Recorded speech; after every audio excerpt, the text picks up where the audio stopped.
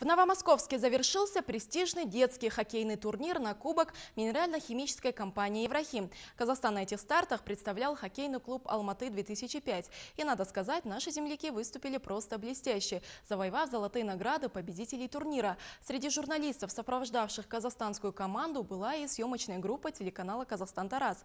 С подробностями Наимбек Бакбанов. В нынешнем шестом по счету международном турнире Еврохим Куб-2017 принимали участие 12 клубов из 8 стран. На церемонии торжественного открытия стартов удачи юным мастерам льда пожелали представители местной администрации, минерально-химической компании «Еврохим» и восьмикратный чемпион мира, двукратный чемпион Олимпийских игр Борис Михайлов. Наш фирменный стиль, туда, куда мы приходим, в те регионы, мы, конечно, поддерживаем спорт, мы, конечно, поддерживаем здоровый образ жизни и, безусловно, будем помогать. Будем помогать развитию спорта и в Казахстане, и, конечно, в Жамбульской области. В стартовом матче наши ребята сыграли против команды «Север» из города Ковдор Мурманской области. Казахстанцы в первом и втором периодах забросили по 5 шайб, а в третьем еще две ворота «Севера», буквально разгромив соперников со счетом 12-0. Очередным соперником казахстанцев стали их ровесники из литовской дружины Клайпеда. Соперник этот был очень сложный. Литовцы построили свою игру от обороны и мастерски разрушали все атаки казахстанцев. Но игра в пас и более высокая скорость помогли нашим ребятам и в этой встрече добиться успеха. Единственную победную шайбу в этом матче забросил Кирилл Ляпунов 1-0. Наши уверенно завоевали первое место в своей отборочной группе. В четвертьфинале казахстанские хоккеисты встретились с командой Юнгадлер из города Мангейм, Германия. В текущем году немцы привезли сильную команду, но казахстанцы действовали более напористо и эффективно. Благодаря голу Александра Чумака и дублю в исполнении Мадихана Кундуганова наши ребята одолели германскую дружину со счетом 3-0 и вышли в полуфинал.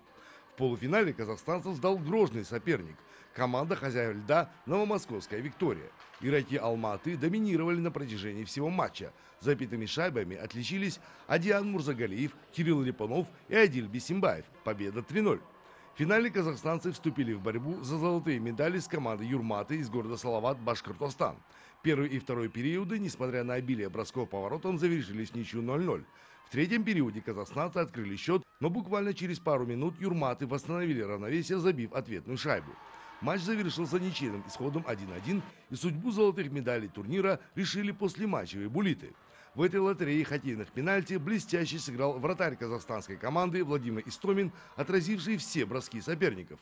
Фортуна была на стороне игроков Алматы. Единственный победный для Казахстана гол в серии после матчевых бросков филигранно забил Адиан Мурзагалиев. Итоговый счет 2-1. Казахстанцы чемпионы турнира.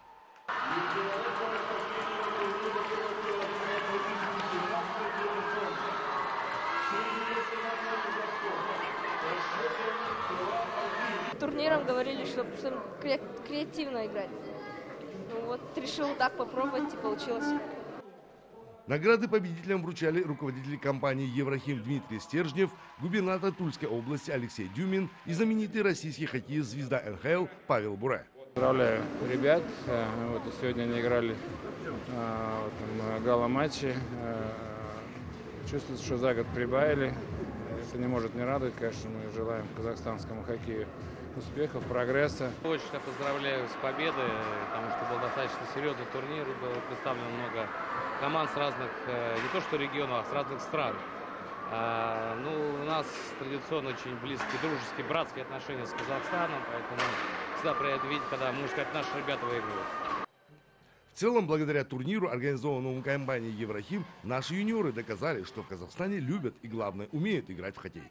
Кубок Еврохима 2017 года завершился убедительной победой юных казахстанских хоккеистов. В будущем году этот турнир уже приобретет статус чемпионата мира по хоккею среди юниоров. Но есть уверенность, что наши ребята блестяще выступят и в будущем году. Наимбек Багбанов, Тохтар Терликбаев, служба новостей, город Новомосковск, Российская Федерация.